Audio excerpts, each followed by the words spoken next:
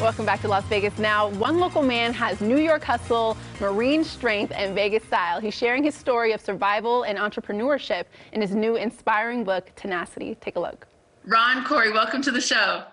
Hi, thank you, Rocky.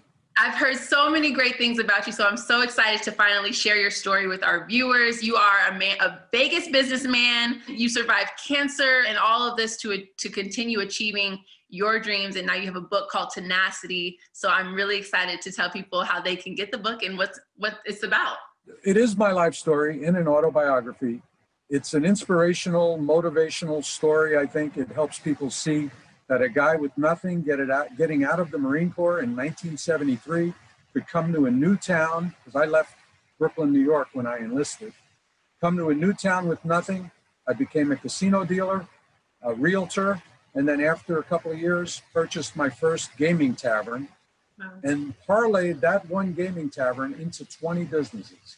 I like to think that maybe half the population have been touched by me in some way with a variety of businesses, whether they bought a car from my car deal, one of my three car dealerships in town, or been to one of my four gaming taverns, or used Presidential Limousine Service, a company I started in the 80s, or any one of a variety of other businesses. I want people to know it's a true story, even though I've changed certain names to make it something that did not put off or offend, while the content of the story is 100% accurate we really found our fortunes in Las Vegas. And the book does describe, uh, in, in opening certain businesses, I encountered some political and police corruption. The book describes to readers how I faced those challenges and overcame them, and how I prevailed in each of the challenges, including some death threats. I might uh, want people to know. Uh, Vegas of old was certainly not the town it is today.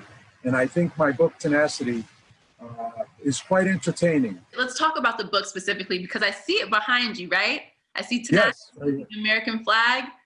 Yep, the Marine Corps emblem, the American flag, a little touch of the Vegas, welcome to Vegas symbol with the Brooklyn Bridge, which is part of the subtitle of the book. Uh, former Brooklynite finds Las Vegas fortune going through the Marine Corps and it touches on a lot of aspects of my life.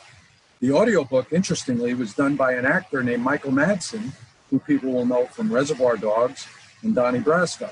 The website is roncouryauthor.com, or they could go right to Amazon or Barnes & Noble and enter Tenacity by Ron Coury, and they can order the book.